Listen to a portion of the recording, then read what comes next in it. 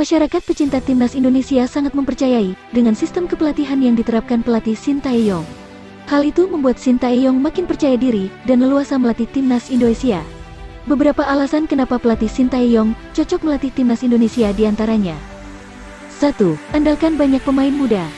Shin Tae-yong mengandalkan banyak pemain muda di Piala AFF 2020. Jika di rata-rata, skuad timnas Indonesia hanya 23,7 tahun. Kondisi itu tak pernah terjadi sebelumnya. Namun, tangan dingin Shin Tae-yong mengubah segalanya. Ia membawa timnas Indonesia finish runner-up Piala AFF 2020. Meski kalah agregat 2-6 dari Thailand di partai puncak, Shin Tae-yong membuat timnas Indonesia tampil atraktif sepanjang turnamen.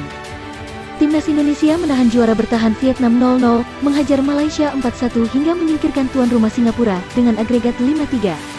Berkat polesan Shin Tae-yong, pemain-pemain muda ini diprediksi bakal meledak dalam 2-3 tahun ke depan. Tentu harapannya di bawah tangan dingin, Shin Tae-yong, prestasi timnas Indonesia terus membaik. Bukan tak mungkin tak hanya di Asia Tenggara, timnas Indonesia bakal unjuk gigi di Asia berkat polesan Shin Tae-yong. 2. Memilih pemain dalam kompetisi yang terhenti. Shin Tae-yong sempat kesulitan memantau pemain timnas Indonesia, mengingat kompetisi sempat vakum selama kurang lebih 1,5 tahun akibat pandemi COVID-19. Setelah hanya menggelar tiga pertandingan di Liga 1 2020, kompetisi baru bergulir pada penghujung Agustus tahun 2021. Dalam tajuk Liga 1 tahun 2021 sampai tahun 2022, hanya mengandalkan sisa laga dalam kompetisi lokal, pelatih Shin Tae-yong sudah bisa mendapatkan pemain-pemain untuk dibawa ke kompetisi internasional. Nasib apa sih yang dialami Shin Tae-yong ini, tidak dialami empat pelatih lain yang pernah menangani timnas Indonesia. Bisa dibilang, hanya Alfred Riedel yang sedikit mengalami nasib serupa, mengingat kompetisi sepak bola di Indonesia pada 2016 sempat vakum, efek hukuman FIFA kepada PSSI. 3. Mampu memegang banyak tim.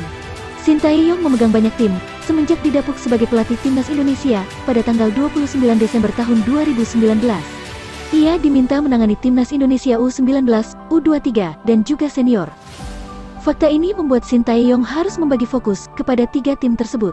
Hal itu berbeda dengan empat pelatih lain yang fokus menangani skuad senior.